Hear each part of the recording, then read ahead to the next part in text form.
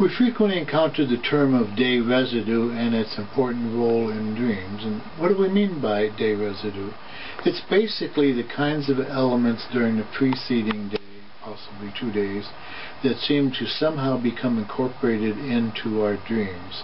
So that if one way of possibly enhancing dream recall would be to make a review of what kind of a day you had that preceding day. Was it a good day, a bad day, and what made it particularly good or particularly bad, and review that before falling asleep. Because it's sort of like priming the pump then. Once you go to sleep and then you write up your dream the next day, you may find some linkages between events that happened yesterday, emotions you had yesterday, characters you encountered, settings where you had been visiting and so forth that will come up in there. And so then you can start looking at why that particular setting, why that particular person, why that particular emotion, and what linked between a similarity within your dream experience and your waking life experience. And so those connections would be called the day residue. Sometimes when people bring up a dream and they want to try and understand, well, why would I have had Sadie Jones in my dream? I haven't seen Sadie for 20 years. I haven't talked to her. I haven't seen her.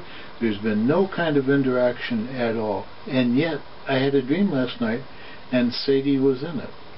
So in that case, I would ask you, what are the qualities you most associate with Sadie? Was she the one who was sort of known as the richest kid back in your school? Was she was the one who was the slowest one in terms of not seeming to be very bright in terms of classroom assignments? Was she sort of the classroom flirt? Was she the teacher's pet? What are the qualities of Sadie that are so distinctive? And then when you can identify Sadie is a real clear representation or embodiment of characteristic X to try and find where that characteristic would have shown up in your day yesterday. So if she had been the teacher's pet, was there something coming up at work? You felt somebody else was getting special attention from the boss.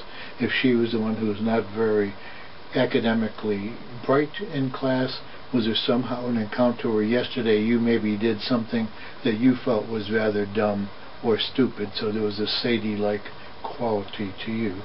So it can often be, when we say dreams are a product of day residue, then it's like, how can it be day residue if I've not had any interaction with that person for 20 years. But the interaction is in terms of the concept that they represent, the metaphor that they represent, and whatever is that distinguishing characteristic of them that you remember from the past, somehow that was represented in your kind of daily activities the preceding day.